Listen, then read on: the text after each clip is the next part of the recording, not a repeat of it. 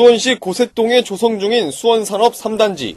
내년 3월 완공을 목표로 현재 흙을 퍼 나르는 작업이 마무리 단계에 있습니다.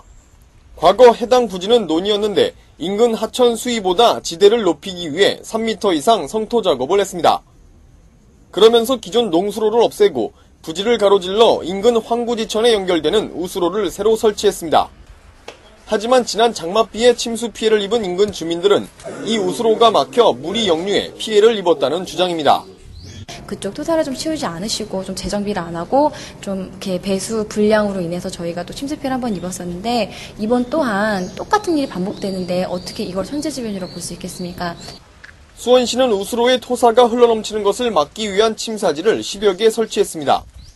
하지만 예상보다 많은 비에 일부가 붕괴됐다는 겁니다. 토사가 이제 그쪽으로 유입이 되지 말라고 이제 만들어놨는데 비가 이제 많이 오다 보니까 그쪽으로 좀 붕괴가 된 게 맞고요. 그건 뭐 저희가 이제 그건 잘못한 건 저희가 그건 인정은 합니다.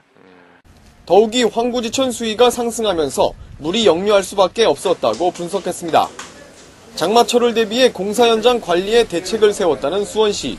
젖은 장판을 걷어내고 스티로폼에서 잠을 청하는 주민들의 비난을 피할 수는 없어 보입니다. 경기방송 박상욱입니다.